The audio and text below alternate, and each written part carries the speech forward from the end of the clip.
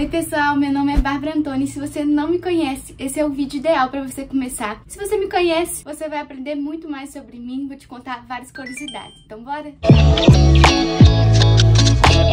Eu tenho dois irmãos, uma irmã mais velha e um irmão mais novo. Então eu sou a irmã do meio. Eu nasci em 1996. Então vocês fazem as contas aí, porque essa parte já tá ficando difícil falar. Sou da época que a gente ia muito pra locadora, a gente tinha fita cassete, DVD. Então sempre fui muito aflorado para essa área de gravação, de filme, de cinema. Tanto que anos mais tarde eu fiz a faculdade de cinema e me formei em 2017. Já conheci cinco países países até o atual momento e pretendo conhecer muito mais. Mas já conheci a Argentina e Uruguai com 14 anos. Foi junto com meus pais e minha irmã numa viagem de 15 anos dela, de comemoração. E anos mais tarde, com 18, eu tive a oportunidade de fazer uma, uma viagem à Amazônia. Fiz um trabalho voluntário lá e nesse trabalho voluntário eu consegui ir para dois países diferentes ali perto da fronteira do Brasil, que foi para Colômbia e para o Peru. Então já foi mais dois países ali. Mais tarde eu vou falar mais sobre a a, viagem da Amazônia.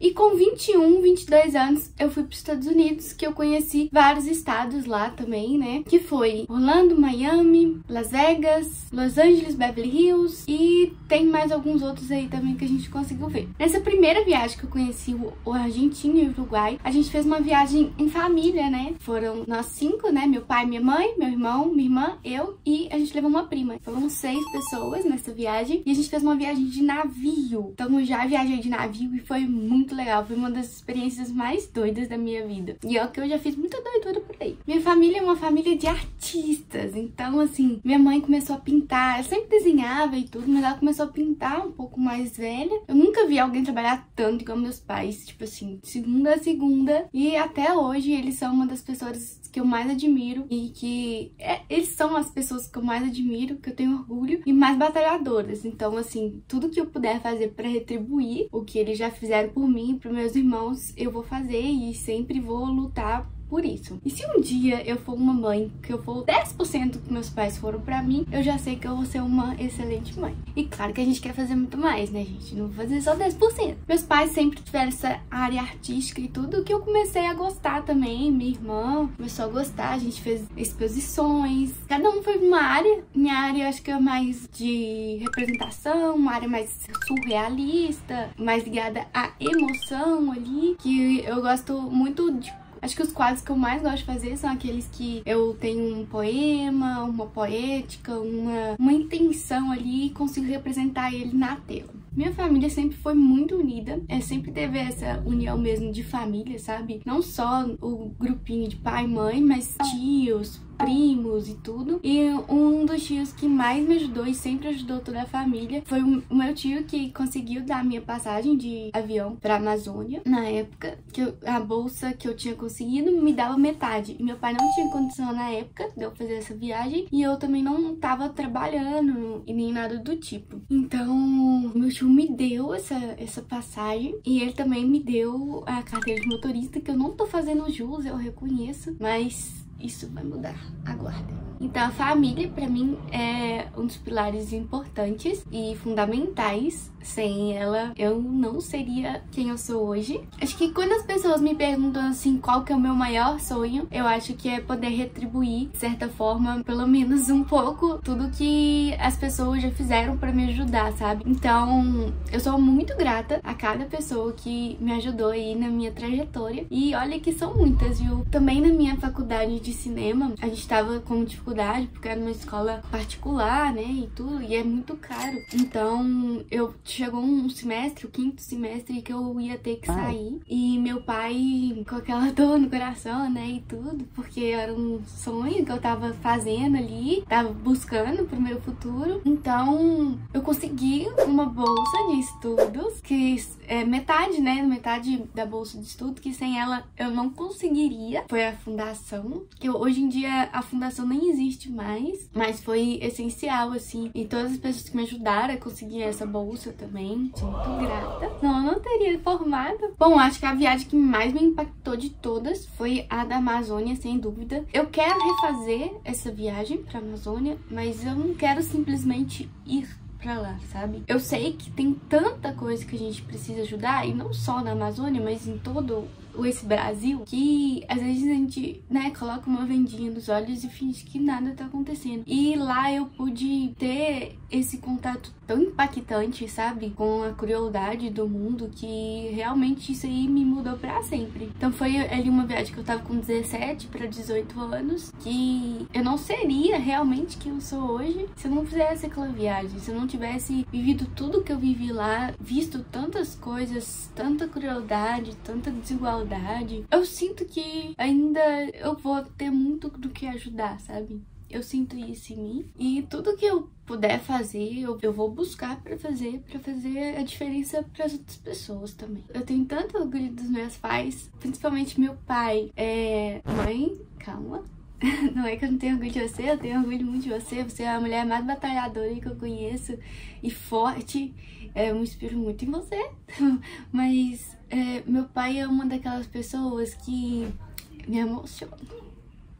A gente teve uma infância fácil, uma infância linda, graças a meu pai principalmente, sabe? Porque em toda dificuldade que a gente passava ali, ele transformava a situação na coisa mais maravilhosa do mundo. Então, a gente quando é criança, a gente não entende que a gente tá passando uma dificuldade ou alguma coisa. É, às vezes era uma marmita que minha mãe trabalhava e a gente pegava marmita. Então era uma marmita para dividir por cinco pessoas. Então ela dava na boca assim, distribuindo sempre, deixando dar para ela, para dar pra gente. Então, eles sempre batalharam muito. Eu tenho orgulho do meu pai por causa disso. Quando vocês assistem A Vida é Bela, vocês vão entender. O que um pai faz por um filho não tem palavras, assim. Ele pode mudar completamente a realidade só pelas suas ações, só pelo sorriso. Eu amo meus pais. Minha irmã tá morando em Portugal e faz muitos anos que eu não vejo ela. Se Deus quiser, esse ano eu vou conseguir ver ela. Então vou conhecer aí mais um país, que vai ser Portugal, mas principalmente matar a saudade que foram mais de 20 anos juntas, né? Dividindo o mesmo quarto sempre. E ela faz muita falta todos os dias da minha vida.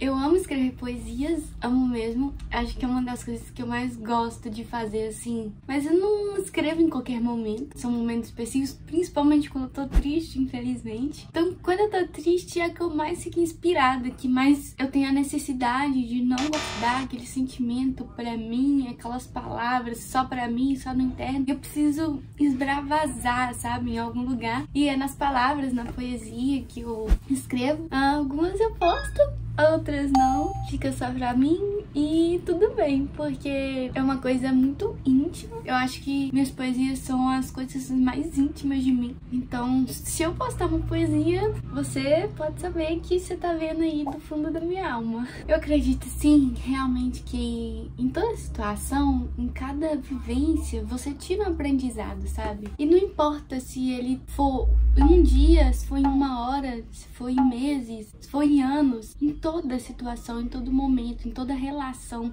em qualquer conectividade que você tiver, você vai tirar um aprendizado. E se você não tirar nada disso, é porque não tá mais evoluindo ali, sabe? Aquela relação, aquele lugar, você deve buscar outras coisas. A gente precisa disso, a gente precisa vivenciar, a gente precisa aprender, a gente precisa entender, conviver, a gente precisa disso. Eu vejo muito essa geração atual querendo tudo de imediato, sabe?